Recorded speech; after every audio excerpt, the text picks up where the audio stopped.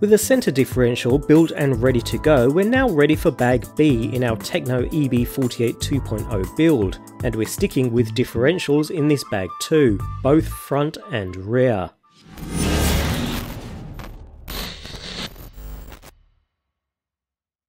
We're sticking with differentials in bag B, and although the bag seems larger than bag A, that's because there are two differentials to build here, both front and rear. We won't cover this bag in as much depth as it's the exact same process as the center differentials from the previous video, the only difference being the ring gear that seals the differential cup rather than a spur gear. So, cracking on, let's grease the recess within the cup, and the outdrive groove, before inserting the bearing, and the outdrive into the cup.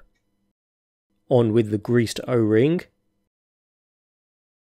the shim, and the outdrive pin with some needle nose pliers to help.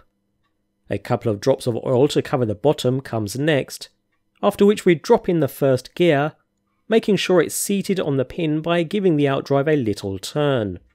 Fill with some more oil, just enough to partially cover the bottom gear, before inserting the first gear set, and followed by the second gear set, and then checking that the gears are all meshed nicely and topping up with more oil 1mm below the top of the cup, before popping the final gear on top.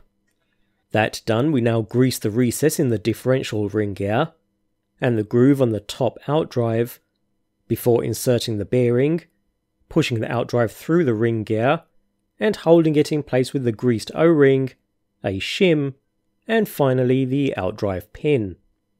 With the centre gasket greased on both sides, place on the ring gear, taking care to line up the holes, and carefully secure to the prepared differential cup, giving the outdrive a slight turn to ensure the pin is meshed with the top gear. Before tightening down all four screws, corner to corner, being careful not to over tighten too much.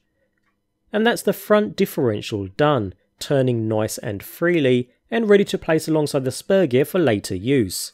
We have one more differential to build here, which will be the rear, the build process is exactly the same, so no need to cover it yet again, although this time ensure the differential is filled using the 7000 weight diffoil and not the 10000. That's literally the only difference between the front and rear differentials. That's bag B complete and all three differentials ready and built.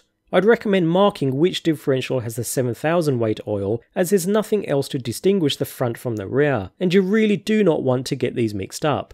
I'm really happy with the quality of these differentials so far and the build manual is nice and straightforward too. So let's keep going and I'll see you in the next video along with bag C, the front gearbox.